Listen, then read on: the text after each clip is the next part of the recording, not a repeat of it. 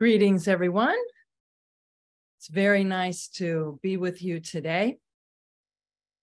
Now we're ready for this month's questions and answers. So, our first question is What are the objectives of the daily meditation and how is it properly done? In the very first set of Rosicrucian monographs, we receive instructions on a meditation that we can do every day. We also publish these instructions in the Rosicrucian Forum magazine. And this is a technique used to facilitate attunement with cosmic consciousness. So we're encouraged to intone a different vowel sound on each day of the week. And these vowel sounds are not associated with that day of the week. It's just we're focusing on seven vowel sounds that stimulate seven psychic centers in our being. So we recommend that one of each of the seven days of the week, we intone those vowel sounds. So the purpose of this meditation is to stimulate the energy centers in our being that Rosicrucians call psychic centers. And here's what a Rosicrucian manuscript says about the psychic centers and about this process. Psychic consciousness is present throughout our, our entire being. Our psychic consciousness is not just in one psychic center or just in the heart or just in our brain. It vibrates within every cell in our being. And specifically, it permeates the nucleus of each cell of our body. So psychic consciousness is throughout our being. Our unawareness of the psychic stimuli constantly bombarding us is simply due to our inability to interpret them. So psychic stimuli are coming to us all the time, but we're not always able to interpret them. The hypothalamus is responsible for such interpretation, and therefore the psychic stimuli must not be reaching it. Why? Because our major psychic centers, due to their lack of development, cannot transfer the stimuli. As the manifestation of our psychic consciousness, the subconscious acts through the intermediary of our autonomic nervous system whose activities are centered in the hypothalamus. And we have practiced many exercises together that help to stimulate and tone the autonomic nervous system. So this manuscript continues as our subconscious is one of the major manifestations of our psychic consciousness, the best way to increase our attunement with it is through the development of our psychic centers. To achieve perfect co- cosmic harmonization, we must use our subconscious as an intermediary, since it is the subconscious that constitutes the symbolic portal providing access to cosmic consciousness. So that's the purpose of this meditation is to build the psychic centers so that we can um, attune with cosmic consciousness. And here is just a little something about what is the subconscious. One, the subconscious controls all the involuntary actions of our physical body and makes possible the accomplishment of all voluntary actions. Two, as the manifestation of our psychic consciousness, the subconscious acts through the intermediary of our autonomic nervous system, whose activities are centered in the hypothalamus. Three, due to the close bond existing between the subconscious and the psychic centers of the body, the development of these centers makes us more receptive to cosmic inspiration. Four, Apart from our psychic consciousness, the subconscious, of all the phases of human consciousness, is the one that is closest to cosmic consciousness. Therefore, in order for us to harmonize with the highest spiritual planes, we must attain the higher levels of our subconscious. We've spoken about the psychic centers in the past, and the psychic centers are, are centers of energy and information in our being where a lot of nerves come together. And they're associated either with an organ a gland, or in one case with a plexus, which is the solar plexus. And the Rosicrucian monographs give us many techniques to strengthen and stimulate these psychic centers. I'm sure you can think of many of them. We intone vowel sounds. So, this daily meditation intones the vowel sound with a specific psychic center. And in that first set of monographs, in an early monograph, it shows which vowel sound stimulates which psychic center, and it also shows the color that's associated with it. We can also build the psychic centers just by placing our awareness on them. Again, they're centers of energy and information. So by placing our awareness on these centers, we help to develop them and to expand our awareness of their energy. Also, we can place our hands on these centers. So when we're intoning them, we can place our hands on the different psychic centers. The psychic centers and this meditation are described in detail in a higher degree in the monographs. However, this is so important that we include an introduction to this meditation in the very earliest monographs. We have we have moved this information, this meditation with the psychic centers to the very first set of lessons that members receive. Now, I mentioned all these different ways that we can stimulate the psychic centers, and this the meditation is described in detail.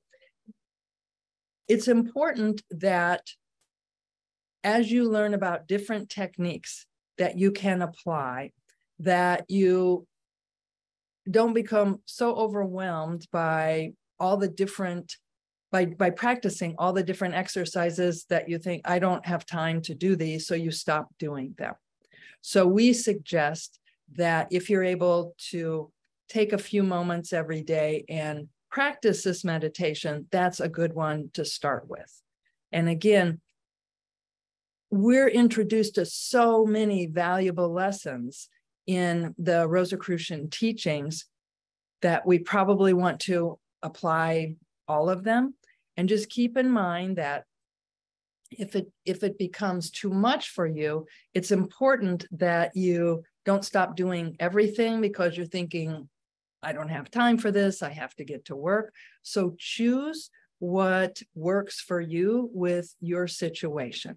And if you're able to do the, the daily meditation early in your Rosicrucian membership, in my experience, you will find it to be extremely valuable. Now, I just mentioned that the Rosicrucian manuscript said that in order to attune with cosmic consciousness and to be aware of vibrations that are around us all the time, we need to open up our ability to receive these impressions. And we also need to remove the distractions. So, in some ways, we set up distractions and obstacles to being able to perceive these vibrations that are around us all the time.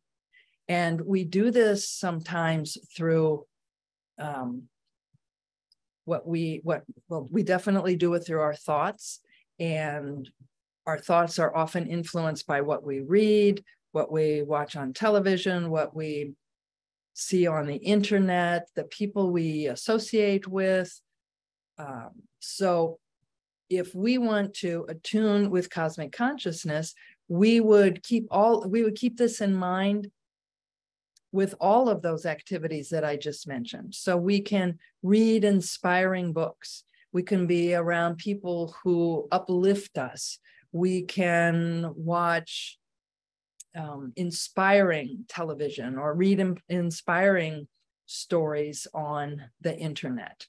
Also, our diet is important and focusing on eating healthy food, drinking pure water, getting plenty of fresh air. And it's especially helpful if we're able to take walks out in nature. A few years ago, Stanford University published the results of a study that they did that showed the benefits of walking out in nature versus taking the same length of walk in a big city. And of course, anytime we can get exercise, that's fantastic.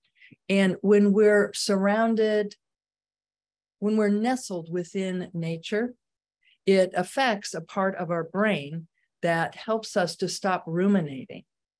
It's called the subgenual prefrontal cortex. And we evolved, our, our ancestors needed to ruminate so that they didn't repeat a situation that might be life threatening.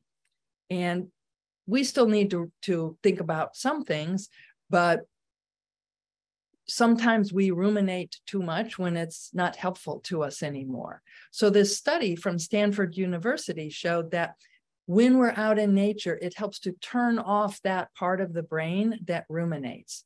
It also, again, comparing walking and exercising out in nature versus doing the same exercises in uh, not out in nature, uh, it produces less anxiety, improves our memory. We have fewer negative thoughts. It lowers the risk of mental illness.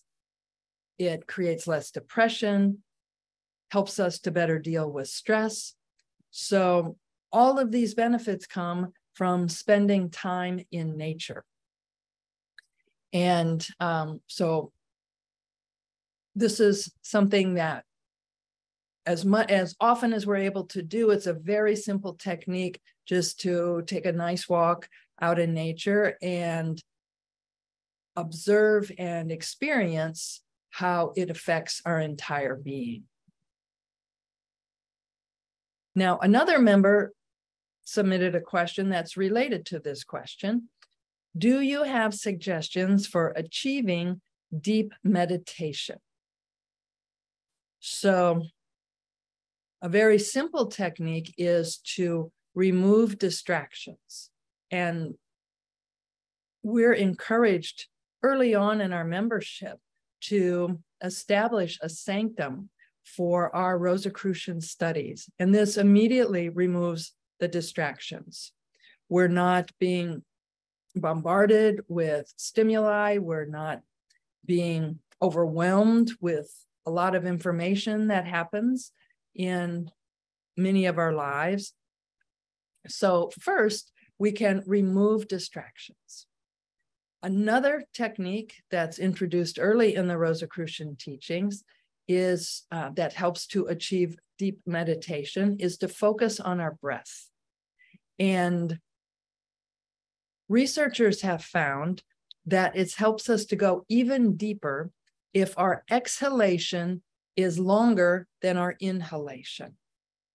And we're going to practice this in a moment.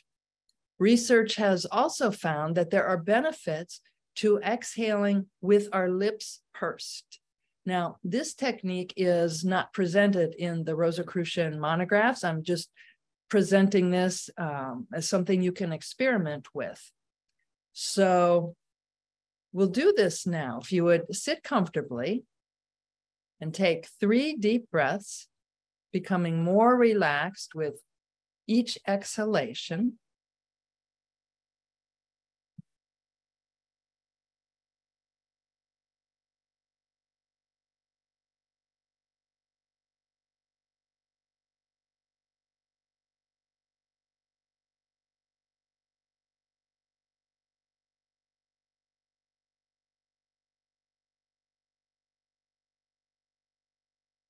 And now breathe in. And when you exhale, purse your lips and silently exhale through your lips, making that exhalation longer. Draw out the exhalation.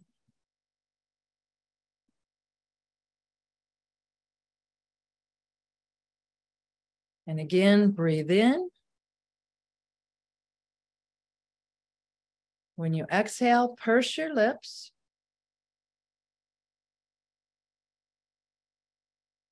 Make the exhalation longer than the inhalation. Now, let's practice this for a couple of minutes. And when you do this, with every exhalation, count up to 10. So with the first inhalation, you breathe in. As you exhale with that long exhalation, mentally think one.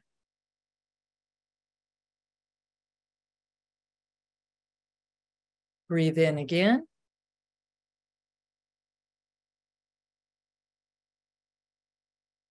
With that long exhalation, think two. So continue that, count up to 10, and then when you reach 10, start over again. Do one to 10. We'll do this for a couple of minutes.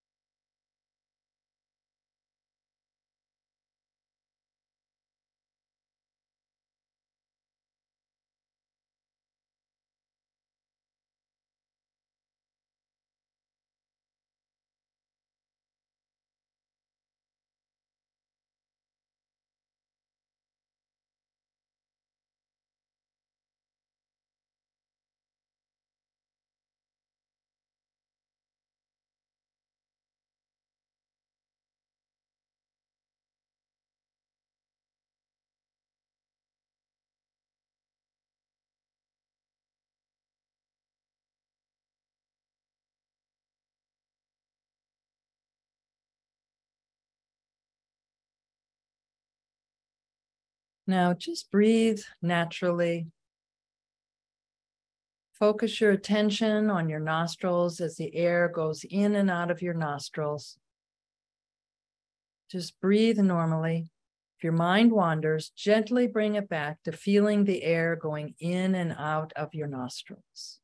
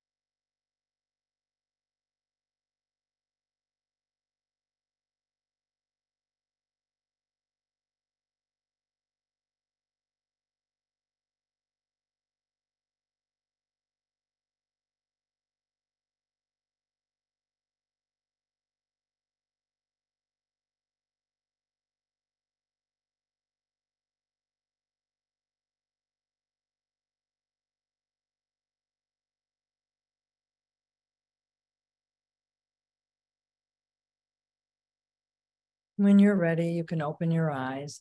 Just make a mental note of your inner state, how you're feeling. These techniques can help us to go deeper in our meditation.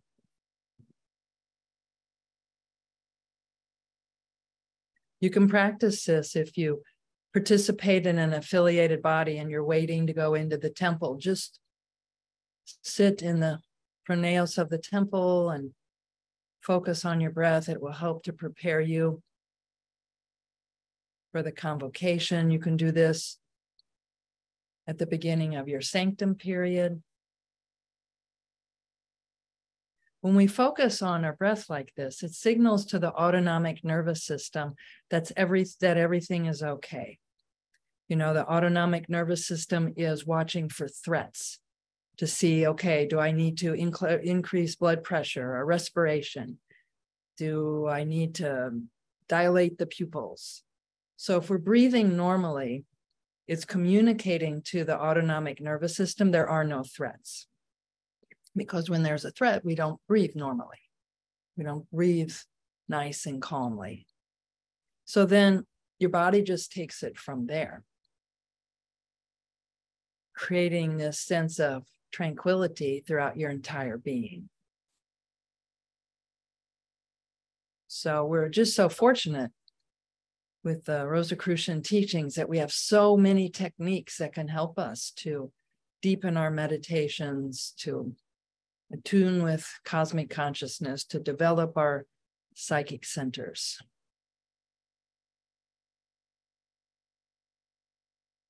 Here's our next question. Please define solitude versus loneliness. Is it harmful to enjoy solitude and limit your interactions with family members and friends who, to, who continue to engage in unmindful and destructive behavior patterns. I mentioned that the latest issue of the Rosicrucian Forum magazine is now available in your member portal. And there happens to be an article entitled Solitude in this forum written by past imperator Christian Bernard. And I'd like to share a few quotations that he included in this article that I, I that I really appreciate. The first is by Paul Tillich. Our language has wisely sensed the two sides of being alone it has created the word loneliness to express the pain of being alone. And it has created the word solitude to express the glory of being alone. And that's by Paul Tillich. And Lord Byron wrote, In solitude, where we are least alone in solitude where we are least alone. Another quotation in this article is by Ruth Fishel. I will take time to be alone today. I will take time to be quiet. In this silence, I will listen and I will hear my answers.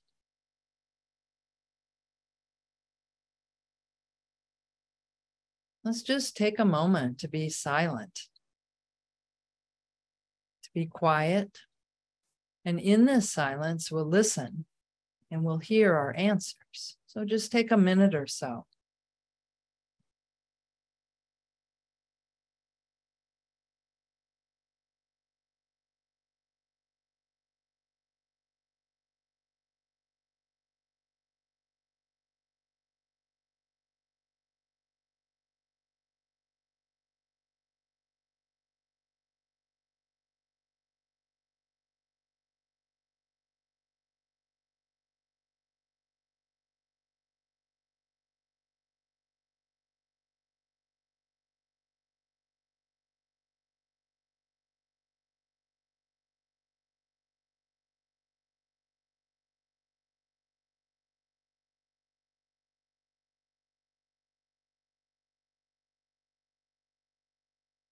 Again, that article is in the Rosicrucian Forum. It's by our past imperator, Christian Bernard. The other articles uh, that you may find interesting in that issue of the forum is um, our imperator, Claudio Mazzucco, Our Contribution to Society. And by past imperator, Ralph Lewis, How Should We Regard Death? And by our past imperator, H. Spencer Lewis, How to Pray.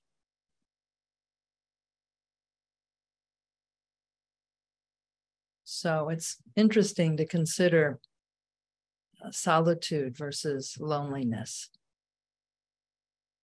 Next year, we're planning a number of member retreats, setting the conditions uh, for us to have transformative experiences. These are going to be experiences, these, these retreats will provide the opportunities for solitude.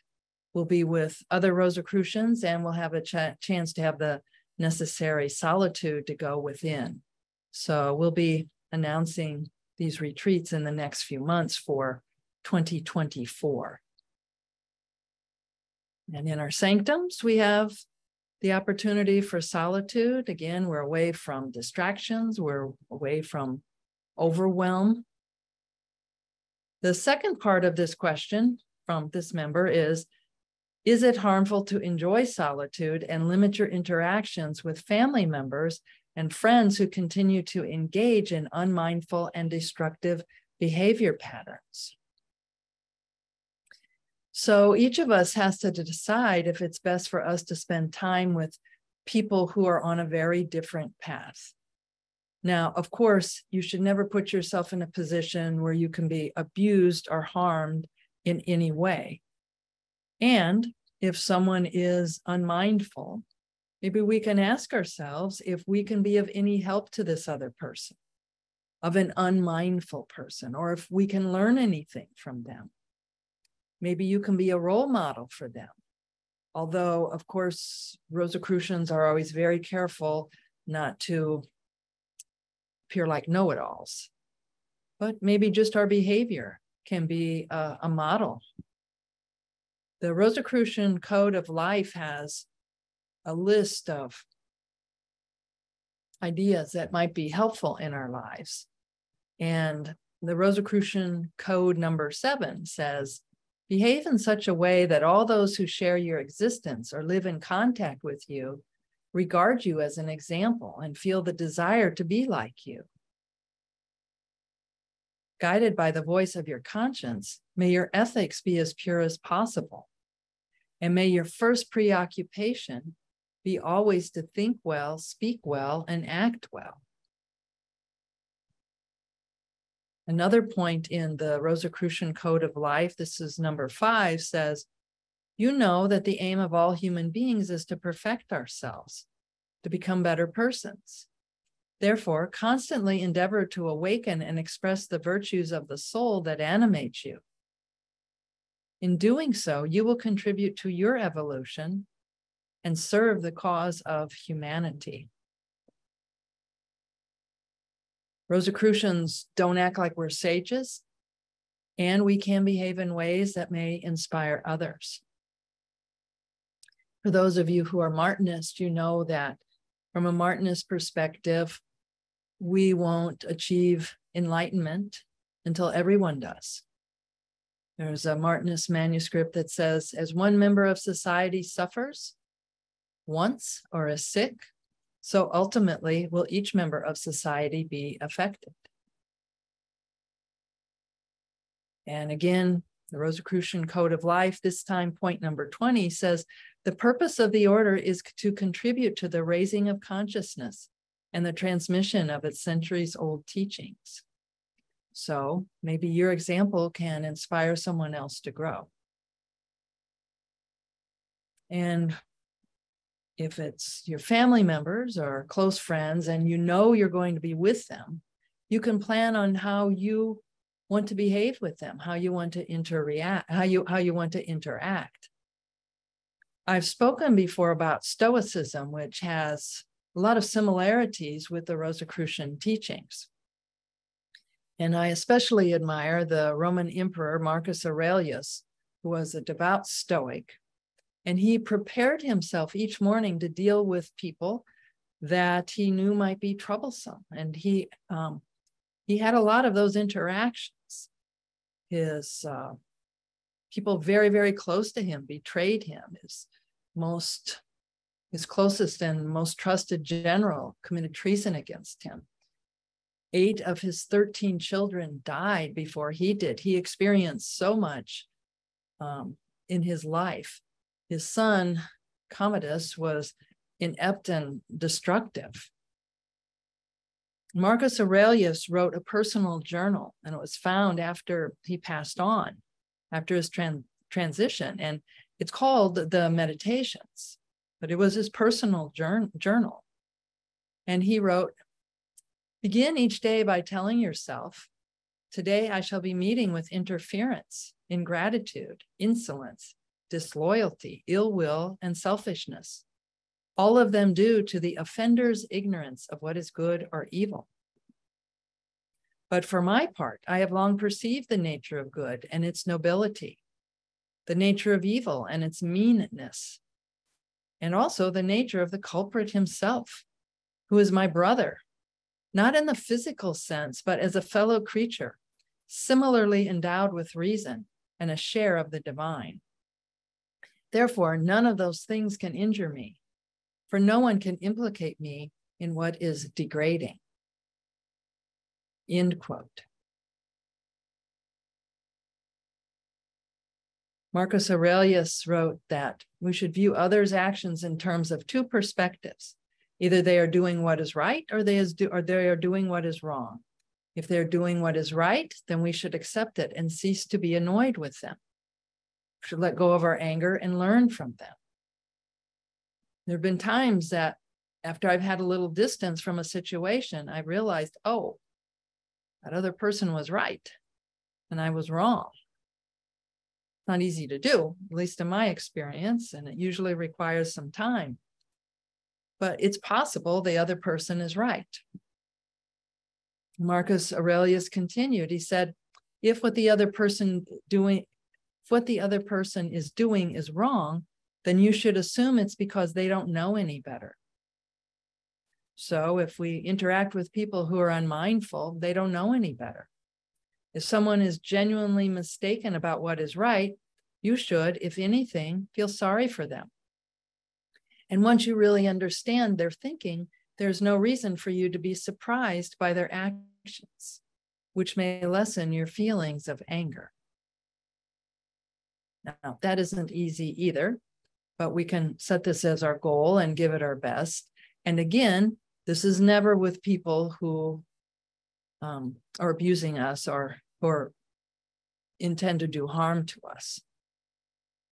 Back to the Rosicrucian Code of Life, it says, Never use the faculty of judgment to blame or condemn anyone, for you cannot read the hearts and souls of others. Look at them benevolently and leniently and see what is best in them. And as I mentioned earlier, the Code of Life says never cause anyone to believe that members of the order are sages who are in full possession of the truth. To those who may ask, present yourself as a philosophical person who is seeking wisdom. Never pretend you are a Rose Croix, but say you are a perfecting Rosicrucian. So again, it's up to each of us to decide if it's if we're in a position where we have no choice but to be with unmindful people, what our interactions will be. Next question is Is there a mystical explanation for the phenomenon known as sleep paralysis? So, the monographs do not cover if there is a mystical explanation for sleep paralysis. It describes the condition. It says it occurs during the night and weakens the body for a day or so. And the vowel sound that can be helpful with this is to intone uh, the vowel sound KE for meditation before going to sleep. And in 2019, we had a Rosicrucian Digest magazine that focused on radiant health. And it includes a meditation that's helpful to perform right before we go to sleep. So um, again, that's in the Radiant Health Digest.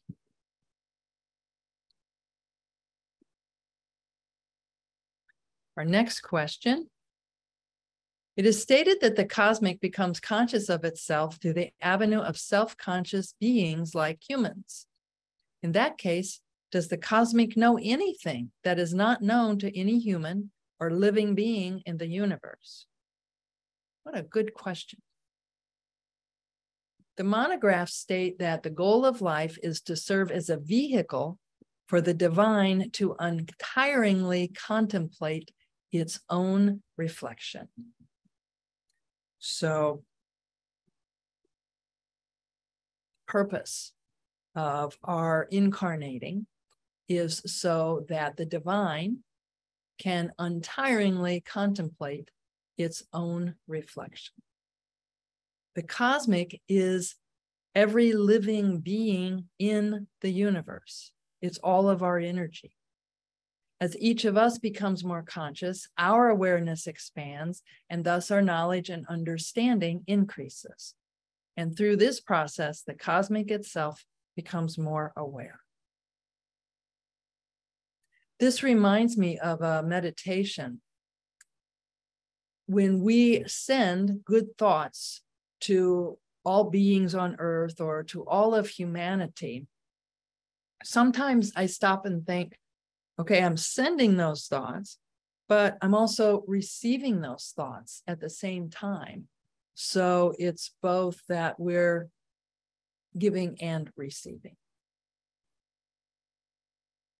Here's a related question. When a person is said to have cosmic consciousness, are there any limits to the person's knowledge? Does the person know everything, or is the person simply aware of a unity or oneness with the cosmic? And some of you may have an experience with this where you know the answer to this question. Maybe you know if it's uh, a feeling of, do you know everything, or is it a simply, you're simply aware of oneness or unity with the cosmic? everything that any unique person experience experiences is perceived through their aspect of the cosmic reality. So we th- see things through our perspective, and thus we'll experience cosmic consciousness differently. For example, we could say that both the Master Jesus and Buddha experienced cosmic consciousness, and the way that they experienced it and described it was quite different.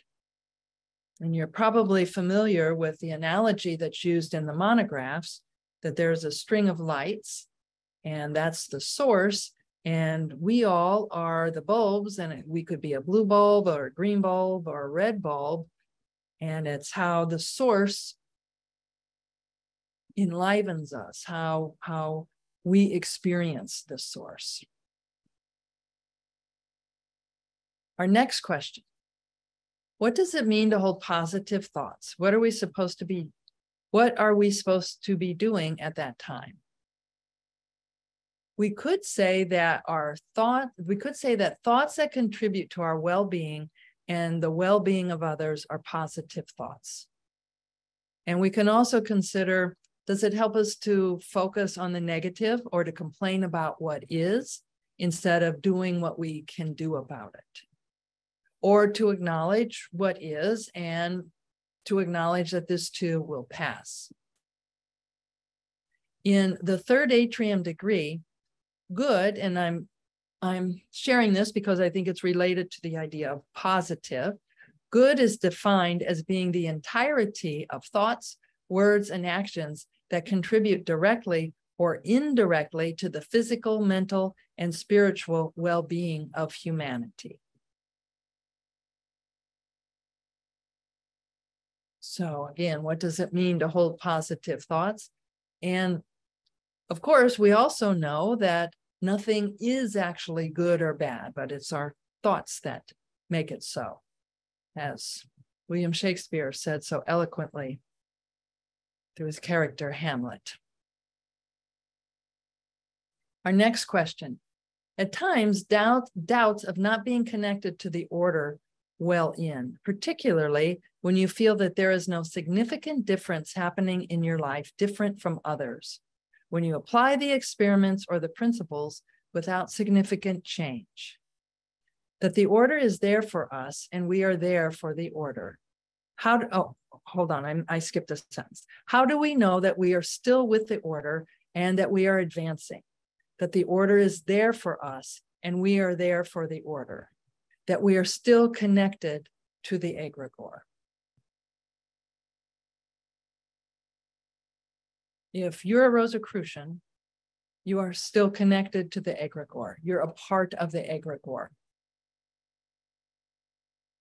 The clearest definition of the egregore that I have experienced was by our imperator. And he said, the egregore exists in the psychic dimension. It's a psychic structure formed by the thoughts of all Rosicrucians, past and present. And it creates a psychic cloud. You can harmonize yourself with it. For example, in the Council of Solace, you can feel it acting in your body, and you can attune with it to help other people. Whenever you think of a Rosicrucian ritual or teaching, you are connected with this cloud. You feel the presence of this cloud close to you. When we need help, we can feel this presence. It's alive, and we nourish it with our good thoughts, as our fratres and sorors in the past have done. Every group creates its vibration, its frequency, and we can be supported by the Rosicrucian egregore.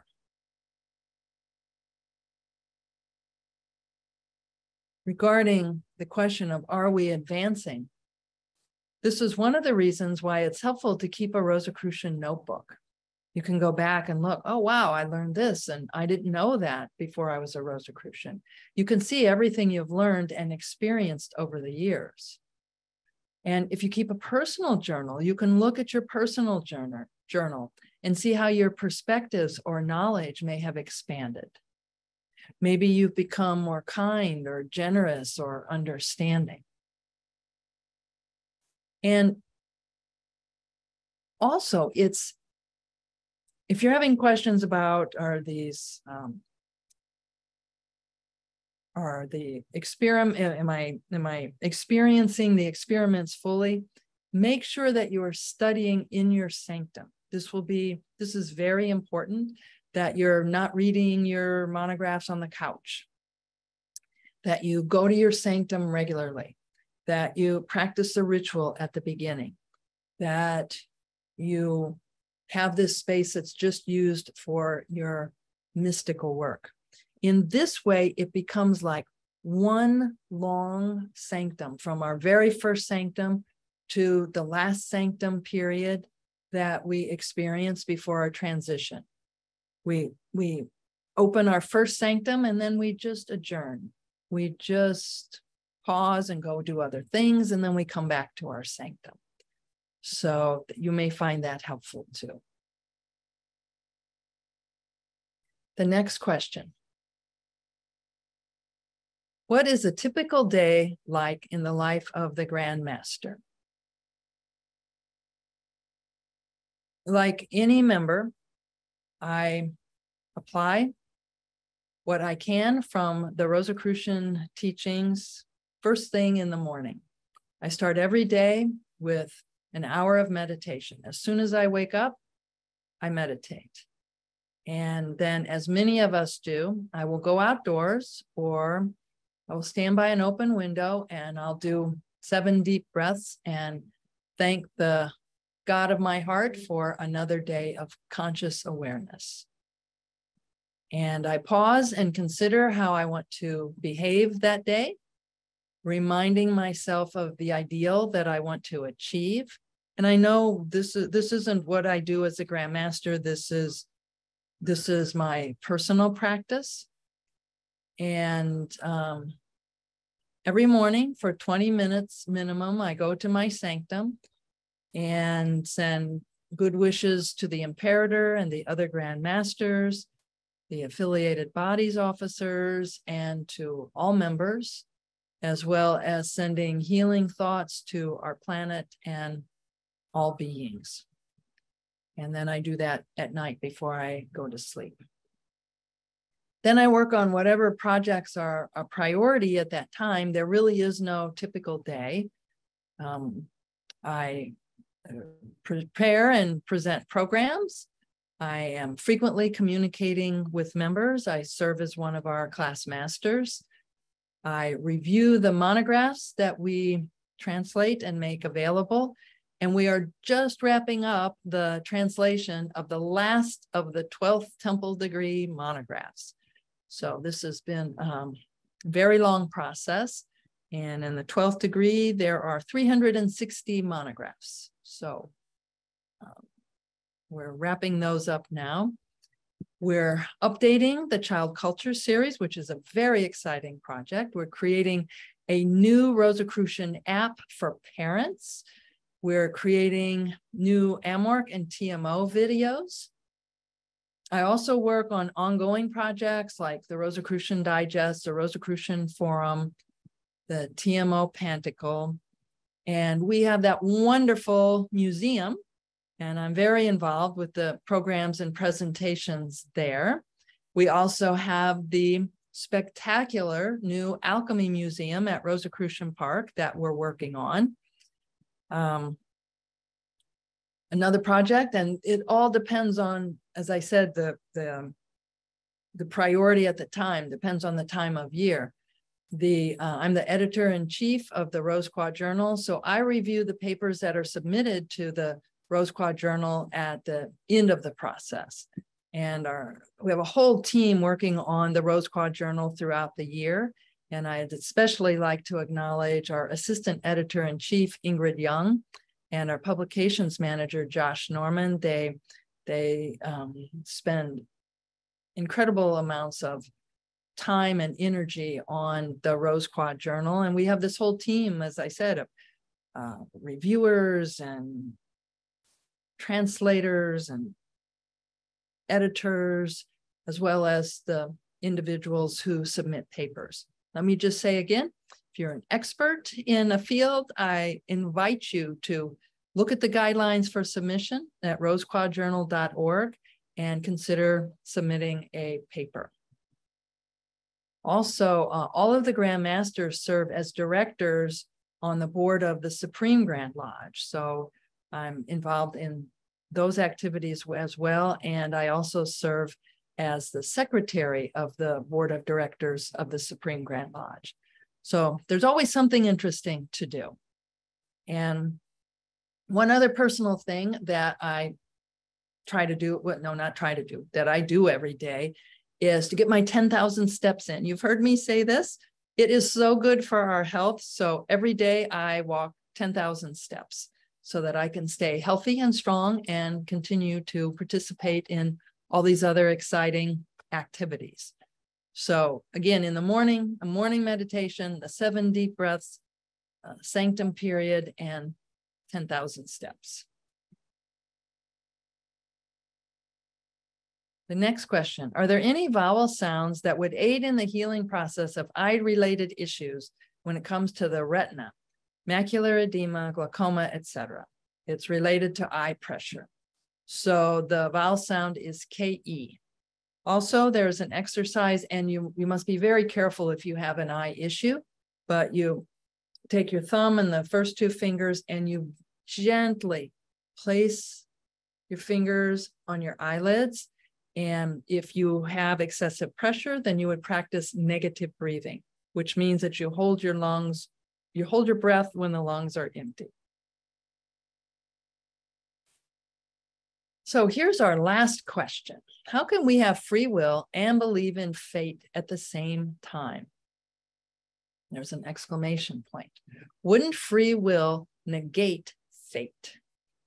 This is another great question and one that philosophers have asked for millennia.